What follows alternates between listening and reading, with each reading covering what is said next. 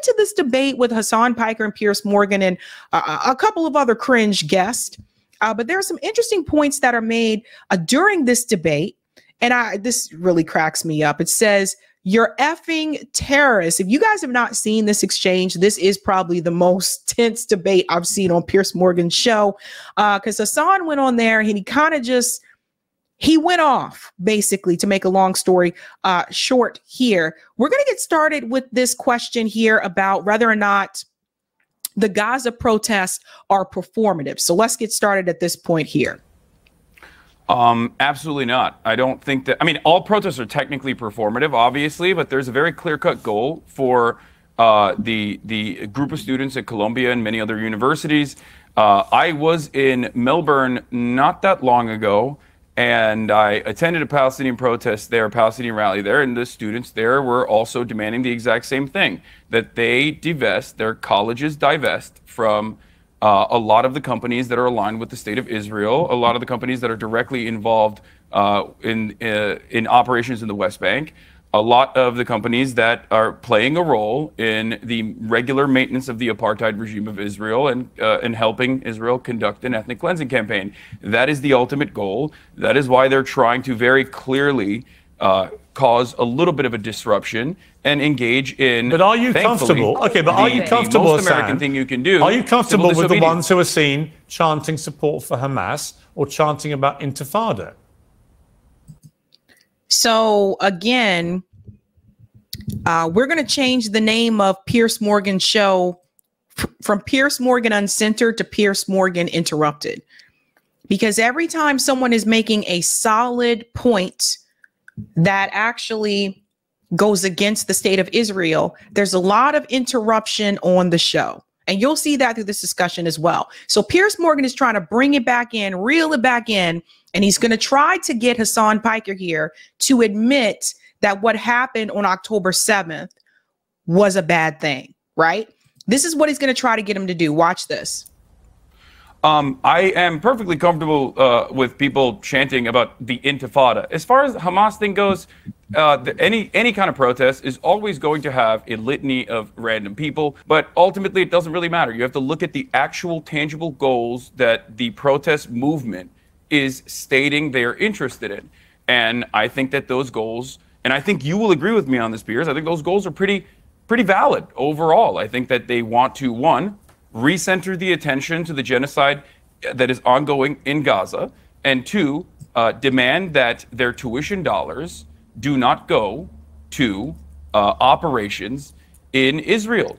I don't know if you're aware of this, but there's a, there's a campus. Uh, there's going to be a sister campus that uh, is being built in Tel Aviv right now for Columbia University.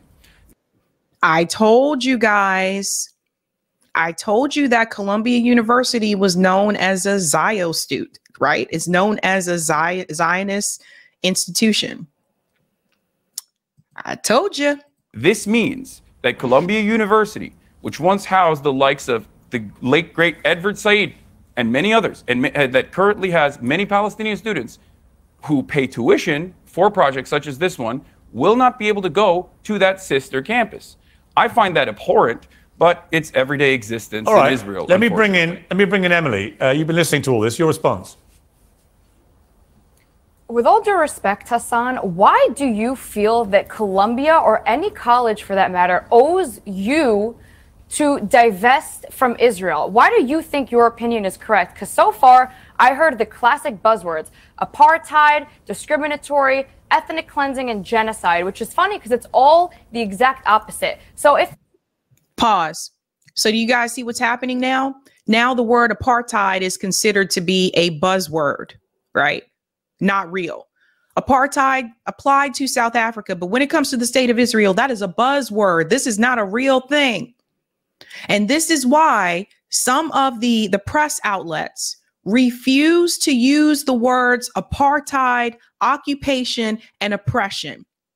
Because if you continue to say it and you use it enough, people will start to repeat it and it starts to sink in, and then people see it as true. But in this case, it is true. So they knew not to use those words. And if they did use those words, they used it in such a way that said the pro Hamas supporters are stating that Israel is an apartheid state. So they frame it in such a way to make it seem like the protesters are the ones that are in the wrong and they don't know what they're talking about. She'll continue to lie. I may ask you, what about Israel is apartheid? You also just said the students in Israel, um, the campus in Israel would not allow Palestinians to join.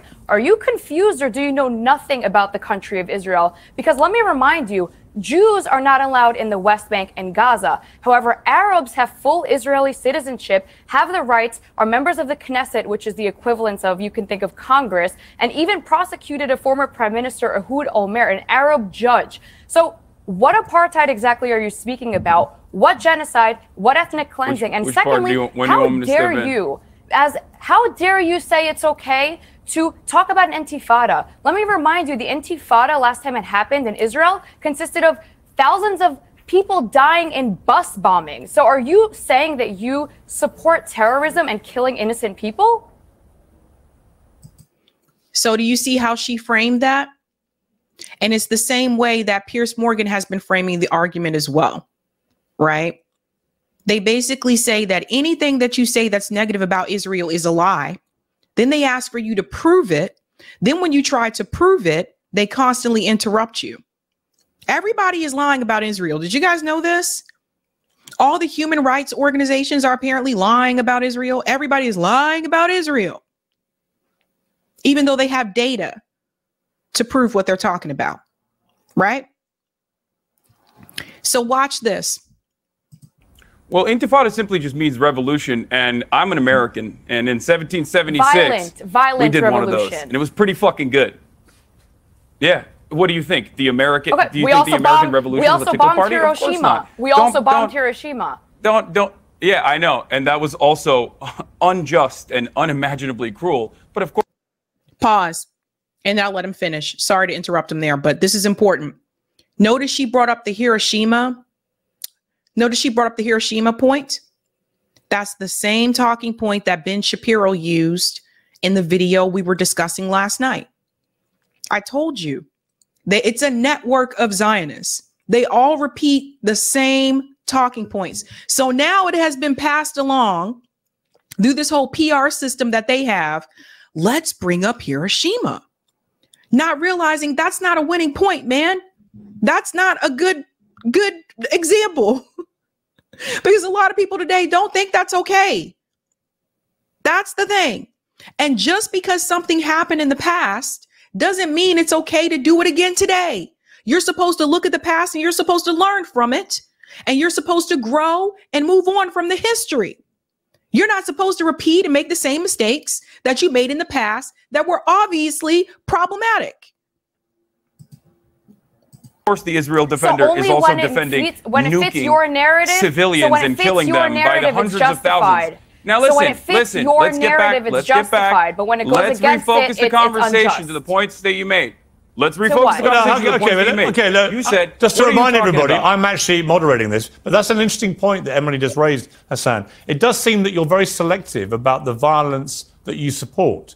That when you support it, it's justified. When other people use things in a violent way that you don't support, it's unjustified. Seems like it's all skewed to what Hasan Piker Yeah. thinks.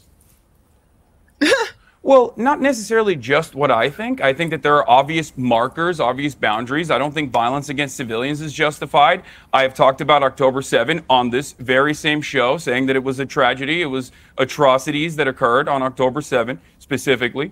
Uh, when you target civilians in any capacity, I think that that is unacceptable. However, this does not mean that violence will not occur in many circumstances. Violence has occurred in every single revolutionary action, many good revolutionary actions. Obviously, America bombing Hiroshima and Nagasaki with uh, with an atom bomb. Uh, that was not a very Was what good, Hamas did uh, on moment October for the 7th. It was a- not a very good moment for human civilization at all. Was what Hamas did on But October the not the 7th point. I what- want- what- was what Hamas did on October the 7th an example of what you would call a justified revolution? So do you see what they're doing now? Didn't Hasan Piker just say to them that he didn't agree with what happened on October 7th? So now this is where Piers comes in to dive in a little bit deeper and try to get him to admit that what Hamas did was wrong. Do you see how this works? They literally sandwich Hasan in between the two people who are supporting the state of Israel. They put him in the middle. He's the meat, they're the bread. I don't look at every single act of violence. I look at You've the literally players, just been I reciting a the whole load of systems of oppression. Why are you avoiding- it. why are you do it avoiding too, Piers. October the 7th? You do it too. No, I don't. I'm not avoiding it. I've talked about it a million times Well, over. let me ask you I'd one more to time. say- Hang on, This is not what we're Let- here to discuss. Emily, hang This on. is not what we're here to Hasan, discuss. Let me She just ask you. Let me just ask you directly Israel's one more time. state. Let me ask you one more time. Do you believe what happened on October the 7th was a justified act of revolution? Yes or no? I do not, and I do think that. I oh wait, hold on. That's uh, let me let me clarify. Let me clarify something very important here. At events that unfolded on October 7 were atrocities. That much is clear. Those atrocities could have been avoided if Israel was not an apartheid regime. Israel has been an apartheid Okay, can regime you answer for how 75 Israel's an years. apartheid regime? In the because early you keep repeating Pause. So you see what's happening here? So they got Hasan to admit that he does not agree with what Hamas did on October 7th. But then when he goes on to explain that that would not have happened had Israel not occupied the Palestinian people, oppressed the Palestinian people, and then also, of course, implemented apartheid. This would have never happened. You would have never had a Hamas. This is what he's trying to say. Now, once he starts to explain the history and what Israel has done that led to October 7th, that is when the interruption occurs. So now she swoops in. We'll call her Zionist Barbie. She swoops in here and then she wants him to define what he means by apartheid. Anything to silence the truth about Israel. No, you can't keep just chime that. in. You can't just Back chime in. You ask me a question. You want it. Why you ask is me a question. Israel an apartheid I'm going to give you an regime? answer. Because you're repeating Israel has been an apartheid regime ahead, since please. its inception until so? until 1967. Israel was an apartheid regime for the Palestinian citizens of Israel, the Arabs, as you called them. They were there was a two-tier criminal justice system. They were subjected to the military court processes and not the civil court processes until 1967. After 1967, they got citizenship. There are obviously still many different social issues that pertain to the Palestinian citizens of Israel, the Arabs that are living in Israel, uh, those who are not Jewish, of course. Um, however, Israel currently is occupying the West Bank. There are Yep. more than 2 million Palestinians that live in the West Bank. Israel's illegally occupying the West Bank. There are checkpoints. There are uh, license plates where, but that restrict Palestinian travel. The, the uh, Israeli operations in the West Bank have destroyed Palestinian statehood. Now, of course, all of this is readily available for those who want to learn about it, yourself included. I hope you look it up. B'Tselem is an Israeli human rights organization which declared Israel to be an apartheid regime in 2021, in the April of 2021. Amnesty International declared Israel to be an right, apartheid let- regime. Let me, okay, so before I did- move. So he's starting to give sources that declared Israel to be an apartheid state. And once again, so now it's Piers's turn to come in and interrupt. Again, they ask for data, they ask for sources, they they're asking you to define it. And then when you start to break it down and you start to give a little too much information, then it's time for them to come in and to interrupt. So Hasan is basically dropping facts here. And listen, I don't agree with Hasan on everything, you know. I don't, I don't agree on still supporting the Democratic Party, but I do agree with him on Israel and, and Gaza when it comes to this issue. So I think the thing is, is like they're taking turns. First, it's Zionist Barbie. Then comes Ken's dad. We're going to call Piers Ken's dad.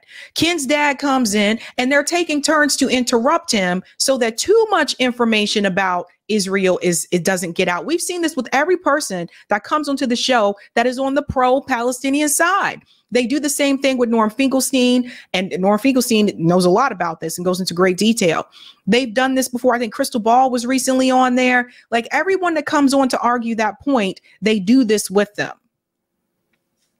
Okay, know before- so hang did on, the hang on, Rights Watch. hang on, hang on. Before we, I, we, I just want to bring in our two British panelists here, but just finally, just to clarify, Hasan, I can't quite work out whether you said you do think October the 7th was an unjustified act of revolution or whether you changed your mind. So can you clarify? See? I think that violent means of maintaining an apartheid is inevitably going to yield violent retaliation. So was it- was it is justified? Something that is completely avoidable. Was it justified? civilian deaths are never justified. You know what, Hasan? Hang, hang on, Emily. You look- hang on, Emily. you look hurt. Emily. See this? See how they take turns? So he said civilian deaths are not justified. We literally have a whole Mattel series here, guys. We can go down the line. We have Ken's dad, which is Piers Morgan. You have Hasan. Hasan is not Ken. Hasan is Ken's friend. There was a, a collection of them called Barbie and the Rockers, right? And so Ken had a friend, a rocker Ken, that had the dark, the dark hair. So Hasan is Ken's friend. Then you got Zionist Barbie here. The woman next to her, this is Christy. Christy was the black Barbie doll. At that time when I was growing up, there was only one black Barbie doll, and her name was Christy. So this is Christy, and that's Ken here at the end. Let's continue. Let me- Goldberg Poland's mother in the eyes. No, you look this person's mother in the eyes and you tell him that this was justified. You tell him his arm being blown off and being held in captivity for 200 I days do- is I do love that the- the- the Israel defender has no you think that capacity to fucking hear anything to I'm the saying. Palestinians who are What are you made talking about? It just if you're not going to respect me You and listen to what I have to say, which by the way, you of course you don't respect. Gaza. Oh, if you talk Look over each other, nobody can hear you. I just do you wanna mean? give- I think it's not. I just wanna think give it's not. I think it's the entire Hasan, world I- knows. No, it is you okay? think. It's Hang the entire on, world Emily, knows. please. Let me handle this, Emily. Hasan, just before I come to the, the two uh, people who are with me here, I just I just need some clarity here because it seems like you're dancing around whether you think October the Here's- seventh was justified why are we or not. doing this? Why are we doing this back and forth masturbation? I've already given you Yeah, my fucking Piers, why are you position. doing It's- this? I'm He's sick and happy. tired It's of Jews repeating it over and over again. Okay, I Because just- it's I Jews, just- it's okay. Ask this Emily, demon stop next to me Group, it's wearing Emily, a fucking come back IDF to you. dog Only tag. when it's Jews, if- it's okay. Please Ask stop this this shouting fucking at each demon next other. to me wearing an IDF dog tag if she actually thinks Israel's No, actions are bring them justifiable. home. Do you it's see to me bring the rocking the hostages fucking home. The, the- hostages All right, that you you're talking rightly over each other. belong Doesn't matter. All right. You the know what tunnels it of. Gaza. I'm going to give you two. Yeah. I'm going to let you two calm down. It's pointless. We cannot hear you when you talk over each other. Troll people. Every time recently, I have. Some- It's funny because the two at the end here, they're just kind of like, oh my God! come on from both sides on. Like it goes show like this. I'm wearing this rusty necklace. Please, can you listen to me, Emily? Civilians Yeah, yeah, in yeah, Gaza right, All right now. Can you stop hostages. doing this to each Hey, other, please? Emily, nobody Emily, can. Nobody Emily, can can understand you a word either of you of saying. Now let me come to Esther and James here. This is one of my problems. No, I want to hear if Emily condemns No, the no, actions Hasan, Israel. you will you please let me about that? moderate the Why debate. don't you I ask her about don't. I don't 30,000 condemn the people? idea. I've got two I panelists here who've not had a that on word October yet. Because you're a fucking kidnapped terrorist. Please stop from their talking. homes. And I think Hasan called her a terrorist, so there was that part. you're a terrorist. And I think you're a terrorist as well. Okay. Well, I'm not the one wearing. Because I'm until not the one hostages are home, the, the, don't the expect the war to be over. Yeah, I know. Bring you don't them care about home. the hostages. If you I cared love about how the you're hostages, condemning you would me. be You are screaming at exposing Benjamin your Netanyahu. own terrorism Benjamin on live Netanyahu television. is the hostage you killer. are exposing. You know, Benjamin Netanyahu me, has killed more condemn hostages Hamas. than What do Hamas I you need to be think you're condemning achieving Hamas here? for talking about? And not only oppressing the Palestinian people, but for spreading terrorism. I don't see your outrage at Hamas. Israel gave Gaza All right, back listen, in I would like to, 2005, and Hamas has turned think this Can you into both a please- terrorist Hamas haven. less- instead of Emily and Hasan, can you Think about what she just said. Israel gave Gaza back. They should have never stolen it in the first place. So this is another Zionist talking point as well, trying to blame the people who are oppressed for their own oppression. we have to get past this talking point. You can't sit up there and kick people out of their homes and off their land and expect them to be, oh, just okay with what you did to them and just go along to get along, folks. And the fact that you locked them into this open air prison, the people can't just move about freely. And then you have the illegal settlements in the West Bank. Now, one of the things that she said is that Jewish people are not allowed to go in the West Bank. Let's show you something. We'll come back to this. I want to show you something because the amount of lies that they tell. Watch this. Check this, okay? Who are Israeli settlers and why do they live on Palestinian land? Let's go down to this point right about here. Who are the settlers? Settlers are Israeli citizens who live on private Palestinian land in the occupied West Bank and East Jerusalem. Occupied.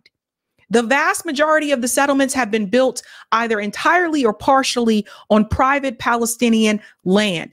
You cannot forget this. More than 700,000 settlers, 10% of Israel's near 7 million population, now live in 150 settlements and 128 outposts dotting the occupied West Bank and East Jerusalem. We can also not sit here and forget the fact that it was just a month or two ago we discussed on this show that it was revealed that Israel was selling homes here in the United States and in Canada they were hosting events to sell homes in the West Bank to Israeli Americans right here.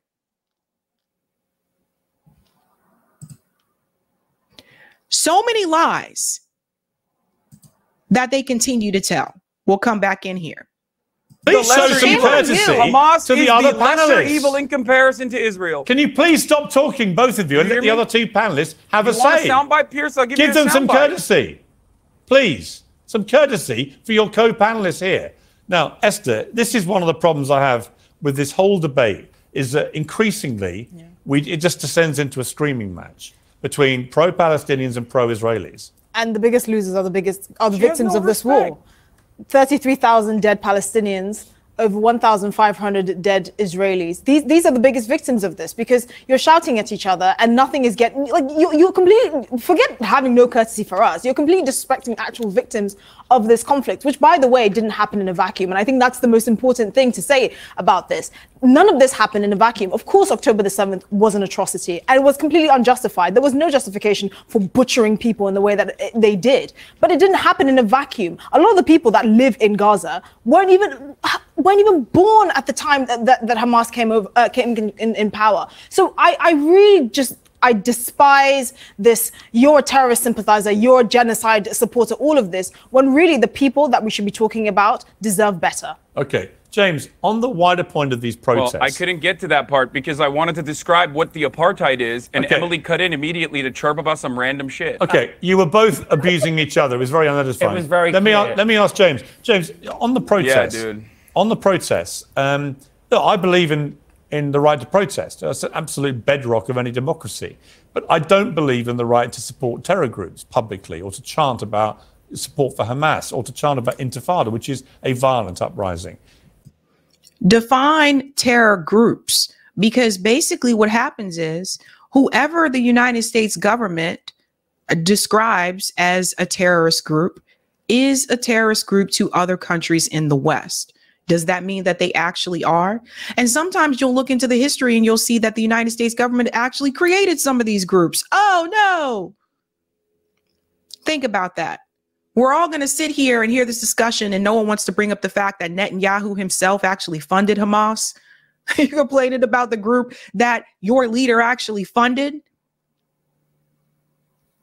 Let's see. Let's hear what Ken has to say. Where's the line for you with these? I agree. I think we have to condemn what Hamas did, and I don't think the words that have been used so far have been strong enough. I mean, it was the worst thing we've seen in a very long time. It was disgusting, appalling, awful for everyone involved. I also have a lot of sympathy, if not, I can't think of a bigger word, for the people of Gaza. It's awful, and I will agree with you. I do want a free Palestine, and I also want a free and successful Israel, but I don't want innocent people murdered. So, yeah. You- pause because ken you know he trying to ride in the middle of the fence because he still want to be friends with barbie and he still got his other friend hasan so let me explain what's really happening here this statement that he said it's the worst thing that we've seen happen in a long time in reference to october 7th if that's true folks has he forgotten about the democratic republic of the congo we're talking about over 6 million people have been killed in the congo you have children working in the mines of the Congo just so we can have rechargeable batteries in our cell phones. So, how is 12 the 1200 people that were killed on October 7th, which some of those people were killed by the IDF, which they admit themselves, how is that worse than the 6 million people that have been killed in the Congo? Make it make sense, folks. Okay, we debunked that part. You can't go to a protest and start shouting about support for Hamas. Isn't- That's isn't it- insane. Isn't it ironic that something like this has become a haven for like the mentally unwell. You're talking about something as serious as a conflict in, in Israel and Gaza. And for some reason, you have really uneducated people that are clearly should 80, like 20 years ago would have been in an asylum supporting this openly, not knowing, not even knowing the conflict, not even knowing the, the context of what they're supporting. And for some reason, we, we even give it airtime. That's what upsets me. But people, is, these people so don't deserve triggered, right? airtime. Everyone is They don't deserve airtime. Then why are you on this show? Come on, Christy. Come on, Christy. Fall back. Why are you on the show if you feel it doesn't deserve any type of airtime? so triggered on both sides, on all sides, for and rightly so because a lot of terrible stuff has happened. So that's where the emotion is coming from. But really, I think we all want the same thing, and that is for innocent people to not be murdered or slain in the streets. Right. I mean, look, Hasan. Uh, Can I? But Uh, hang on, Emily. something? Please, I'll come to you. Let me just ask Hasan.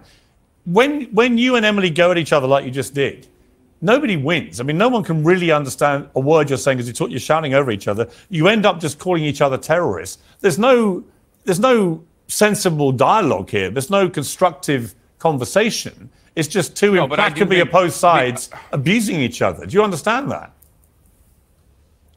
Yeah, I listen, Piers. Okay, this is going to always have. This is going to always be a very heated discussion. Yeah. Okay, having a conversation about how heated this discussion is is utterly unproductive. Every single moment that we use on air, not talking about every single every single uh, university building being desecrated, destroyed. Uh, the fact that we're having this conversation on the eve of hundreds of mass graves being unearthed right now in in uh, many different parts of Gaza around hospitals that Israel had laid siege to is disgusting. I agree. I came on here, as I have done last time as well, and as I will probably do in the future as well, with one simple goal in mind, which is to address all of the misinformation that surrounds stuff like this. As far as the crackhead Barbie thing goes, yeah, she's a random TikTok influencer who gives a shit about what she has to say. She's obviously doing it for clout. But the students over at Columbia, okay, the students that I have talked to at the Columbia University Apartheid Divest group, the students that I've talked to from Jewish Voice for Peace, Um, all right, Emily. Uh, l- let me just ask you. that part right there. There was something that happened here that was a little bit odd. Watch it again, guys, and make sure it's not just me that noticed it. Because it seems like when they they obviously recorded this, and it seems like once he mentioned Jewish voices for peace, part of this was edited out. Watch. She's a random TikTok influencer who gives a shit about what she has to say. She's obviously doing it for clout. But the students over at Columbia, okay, the students that I have talked to at the Columbia University Apartheid Divest group, the students that I've talked to from Jewish Voice for Peace, Um, all right, Emily. Uh, l- let me Uh, hello. Did somebody just cut him off after he said Jewish voices for peace? Was that like a hard edit? Okay, we're gonna fast forward to another part here. I think we've had enough of um, Zionist Barbie, but there's a part here that I do want to get to where uh, Hasan actually, you know, Ken's friend starts to clash with Ken. This part right here. People here. If anyone okay. is using hostages, surely it's Hamas, Hasan. How can you say that? How can you how can you use that argument? That's that's a crazy thing to say. It's Hamas What that mean? How can I have taken these There people from their homes, Tens of thousands of people in Israel. relatives. There Like, are currently tens of thousands of Israeli citizens right now in the pro- uh, right now in the streets of Israel, in the streets of Tel Aviv, outside of Benjamin Netanyahu's house, protesting every single day. What are they protesting? They're protesting for Benjamin Netanyahu to facilitate a ceasefire with Hamas so that they can actually bring the hostages home. That is precisely the But number one who goal if is the, of the using the family members of the hostages? Who is and if using anyone on this panel was No, being even a little bit honest, You've- you've they would recognize the reality that question. listen, just listen. you didn't listen to my question. listen to listen to what I'm saying, and you will understand perhaps what I'm trying That's to imply very here. patronizing. Uh, Utilizing the hostages. Yeah, I am being patronizing. I don't know who the fuck you are, and you're over here chirping chirping all the way from fucking London about Palestine and doing a both sides are fucking fine type bullshit.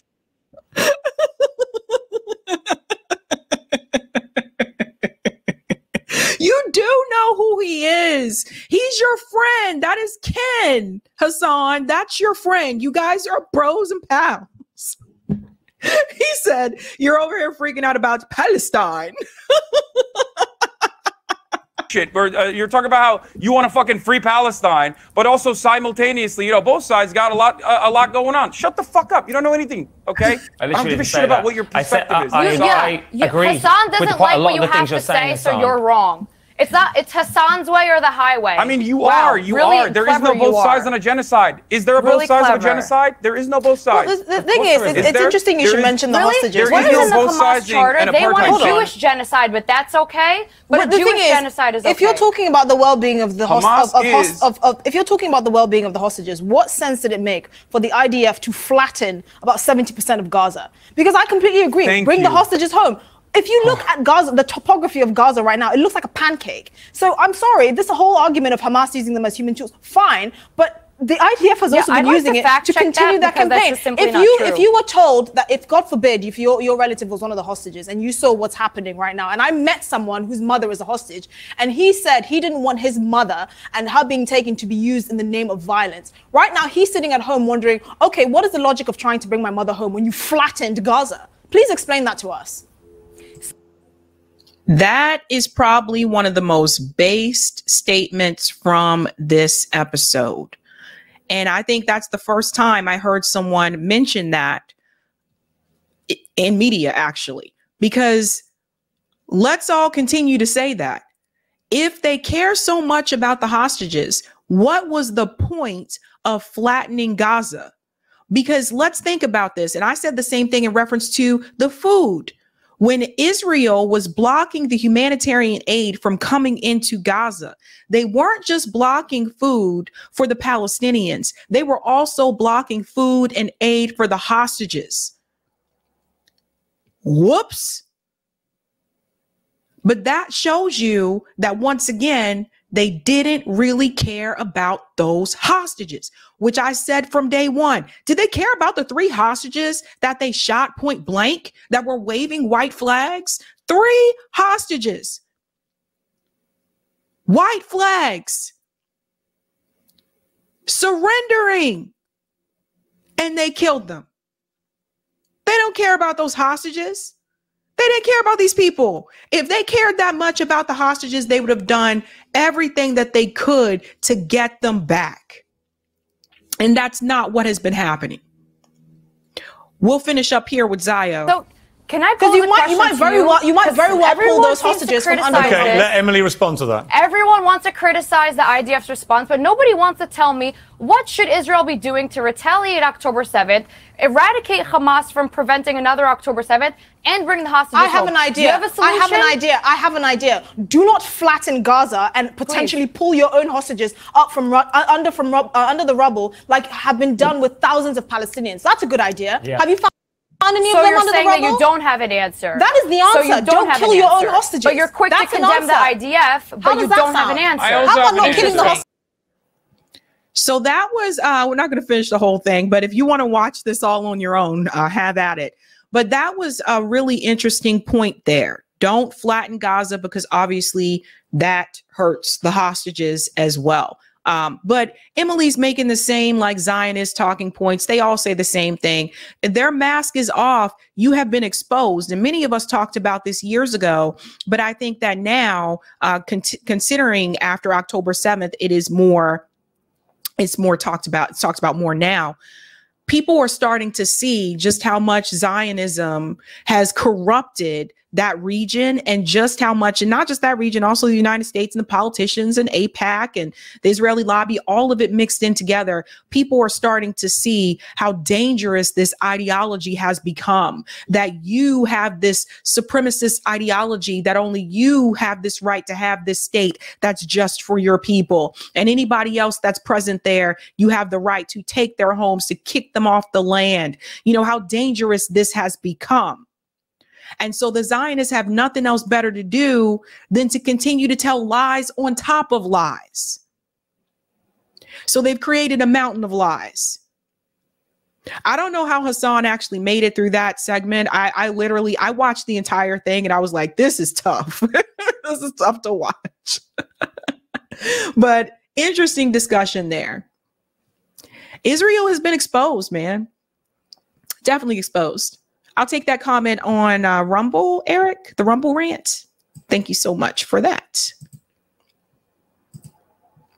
All right. Thank you for the Rumble rant, Goo. The Irgun and Stern gang, who were the terrorist groups that targeted British and Arabs, eventually became the IDF. Well, damn. Thank you for this as well. Zion Barbie needs to go easy on the Botox and needs skin cream for that oily face. Damn, goo.